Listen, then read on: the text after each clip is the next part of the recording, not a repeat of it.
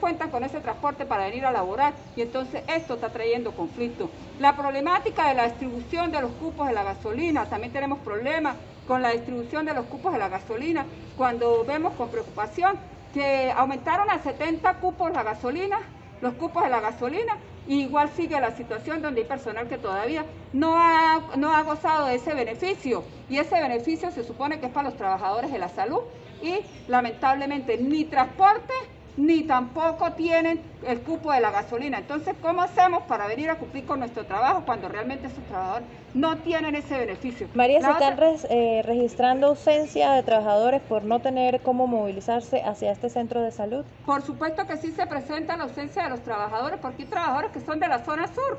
Ahorita este, los trabajadores, ¿cómo hacen cuando muchos piden cola? cuando muchos no tienen, no tienen realmente, no tienen cómo llegar a su al centro de, salud para cumplir con sus funciones. Y lamentablemente hay que ser honesto que los jefes muchas veces dicen, tienen que venir porque si no se les tienen que pasar la falta de acuerdo a los procedimientos legales. Pero la ley existe para unas cosas, pero no existe para otras, cuando nuestros trabajadores de verdad están en precarias condiciones para poder laborar.